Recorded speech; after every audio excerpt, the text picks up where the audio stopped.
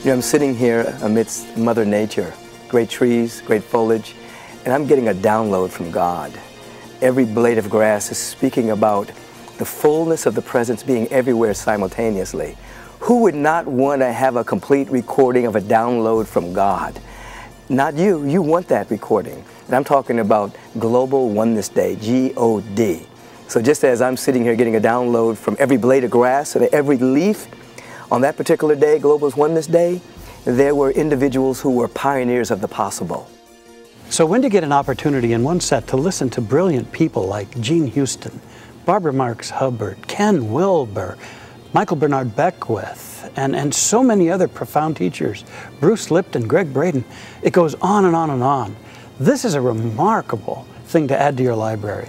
Global Oneness Day wasn't about the teaching, it even wasn't about the interviews, although it'd be a great idea to get all the CDs as a gift for Christmas. But the truth is, Global Oneness Day was about the resonance that people feel.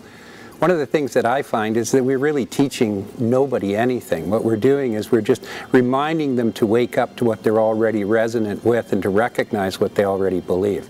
Oftentimes it's easy for us to think that we're just doing this all by ourselves, and unless we really have opportunities like Global Oneness Day, it's hard for us to really appreciate just how many of us there are that are coming from this same point of view and caring deeply about the same kinds of things. When you listen to each one of these presentations, you realize that all around the world, there are people just like you making a contribution. When you listen to these, not only do you feel like you're a part of something so much greater, but you're inspired about what's the next step, what's the contribution I can make.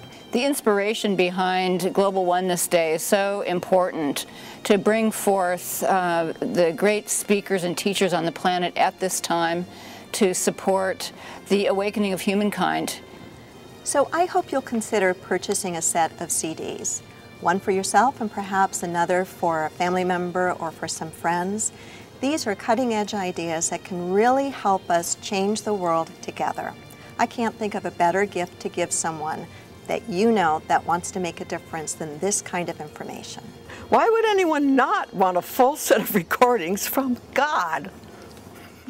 Get ready, download Global Oneness Day, God. It was God inspired, you be God inspired. Peace and blessings.